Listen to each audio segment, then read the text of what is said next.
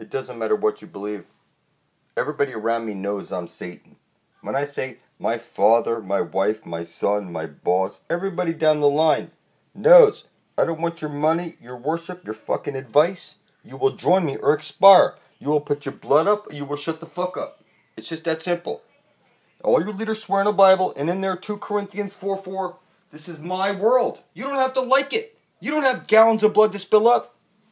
And even if you did, it wouldn't be enough. Even if you killed yourself on top of that, because you're not selfless. I don't want anything from you. Not your money, your worship, your advice. If I don't personally drag you off to the fountain of youth, you will expire. And if you expire, surely your loved ones will expire.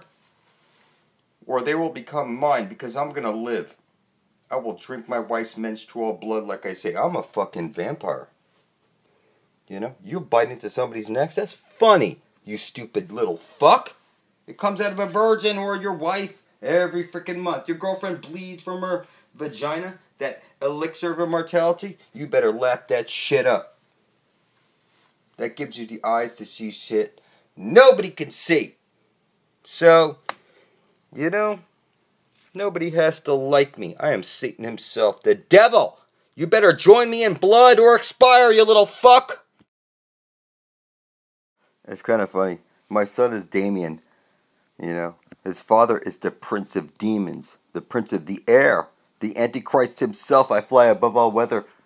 He slams this shit down their motherfucking throats. It's kind of funny. He's in the other room.